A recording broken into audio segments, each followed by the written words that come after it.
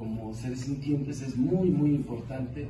eh, hacer caso a lo que se ha manifestado en muchas calles para evitar el maltrato animal, pero no solamente el maltrato, sino quien tenga una mascota realmente no la, no la utilice como un instrumento de decoración o como un instrumento para ganar look frente a la cosa pública, sino realmente como parte de nuestro entorno, parte de nuestro ecosistema. Bueno, esa lo vamos a, presentar el día miércoles seguramente. Y también quiero comentarles después, si después es el diagnóstico que está elaborando el instituto, al cual formo parte y que me han invitado, pero ahora le cedo el micrófono a María Luisa